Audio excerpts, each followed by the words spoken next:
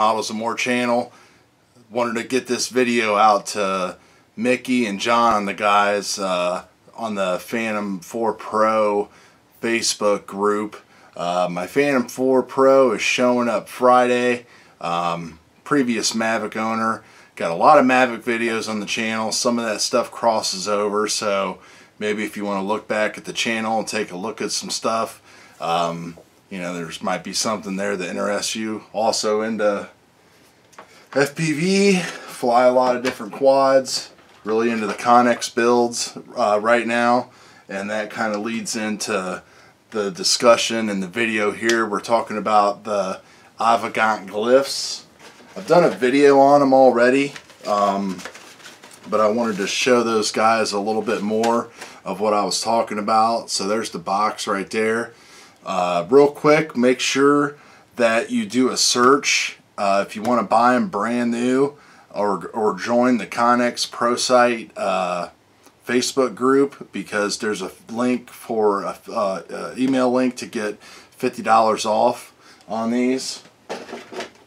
So real quick, I've tried the Transformers. I've tried uh, some friends, uh, Fat Shark HD V3s, and you know I use Fat Shark goggles, uh, for the V Dominator V2s for my analog quads. Um, you know, and these are the goggles that everybody are typically used to, where you look inside and you have screens inside there. Well, the glyphs are a lot different because the glyphs actually, the lenses in there actually project the image onto your eyes. So you can have the glyphs on and due to this small thing and you're not being in that tunnel, you have full awareness of what's going on. You can look all around you.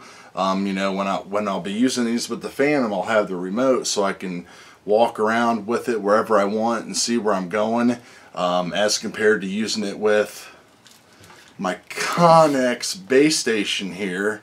I'm tethered with the HDMI cable to this. So uh, this is just kind of how it works.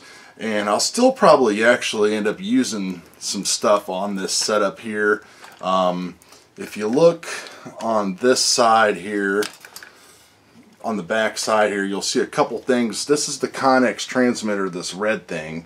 Right next to it is an HDMI cloner box and then an HDMI splitter. I'll probably rig up the cloner box to my Phantom uh, remote because I can do, I'll be using an iPad, not an Android device, and I'll be running my HDMI out of the module that I'll add to the remote. So this will allow me to record all of the FPV footage because I like kind of putting some of that stuff into my uh, videos as well that I make and it also has a microphone input on it so um, so I'll be able to, to annotate my videos and stuff using the microphone that's built into the cloner box. Um, it doesn't add any latency or nothing at all. Um, all of the FPV racers are using this rig pretty much with Connex, this exact setup. So it's tried, true, and tested. Um, and those guys are moving a heck of a lot faster than uh, than we are. So I went outside earlier and shot some footage. Um, I set my quad up on the end of the table and basically um, I wanted to try to give you a visual as good as a visual representation of what the goggle view looked like and then basically just like what you're able to see all around you um, while you have the goggles on. Um, as I said in the video, the, the biggest downside to these is the, ed, the headphones, the earmuffs here. You know, these things were made for uh, airline people and everything like that, but they kind of just fell into a whole market that I don't think they were even expecting to fall into uh, with the growth of uh, the ProSight because once you fly an analog quad racing and once you fly um, the digital stuff it's it's hard to go back despite the extra cost but it's just a superior technology especially if you're a DJI fan because you know we're used to great video and everything like that. So um, there is a brightness control on here. You press this button in back here on the back and you have three levels of brightness. Um, they're really comfortable on your face. It's just all about setting them up. It comes with these nose pieces and there's like four or five of them in the box and they're magnetic. They just click into place and just stay there. And the whole point of the goggles is to sit on the bridge of your nose and have these projectors as close to your eyes as possible. Then you actually have an elevator adjustment and then you have the IPD adjustment to get them all lined up really great. Has a um, mini HDMI port, charges with USB. Um, I think it lasts me probably about two and a half to three hours before I have to charge. Um, so that's pretty much I think about all I can think of right off the bat. Um, as I say in the video that I shot, it's just a different way of of looking at things. If you can't, if you don't have anybody that you can actually go and look through and see it, you know, you it's kind of like one of those things you have to take everybody's word for it and just buy them and try them out. The good thing is, is that they're so popular right now. I've been selling a lot of my stuff on RC groups.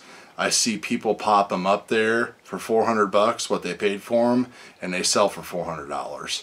So if you don't like them, you know, just turn around real quick and try to sell them. So that's my phone. Sorry. So anyway, I'm going to cut to that DVR footage. I hope you like what you see. You know, give me a like, subscribe to the channel. There's going to be a ton of Phantom 4 stuff coming. Um, you know, I'm not super artsy when it comes to the 4. I'm more on the technology inside and stuff like that. But I do get into, you know, Adobe Premiere and, uh, you know, Litchi and all the apps and stuff like that. So hopefully we'll see you guys around. And I hope this uh, helps you out, Mickey and John, and uh, anybody who is looking to maybe pick up a set of these. So we'll see you. Alright, so I've got the quad set here and we'll start the DVR. Hopefully you can hear me all right. So the quad's here pointed out that way. And I'm going to put the glyphs on.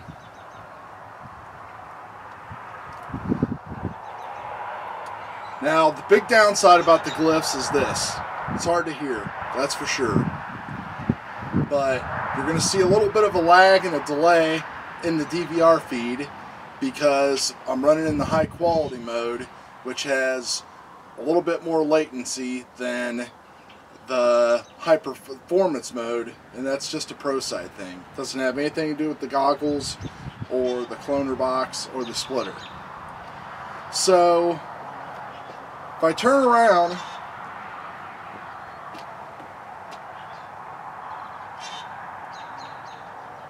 and if I look straight ahead, basically I can't see from the top of the bird bath to the top of the trees. That's all blocked out with the visor. I can see everything in front of me. You know, like right now I can see my hand right there, and then I can see it right there. But the thing that's great about the glyphs is I can raise my head up and look at the camera and see you, and just look my eyes right up, and there it is. Same thing if I want to look up. So it's not about light leakage because the image is being projected into your eyes. You're not looking into anything. Where if light gets in there, it's going to wash out the image. That's not how these work. You know, it's a completely different system. So, once again, I'm standing.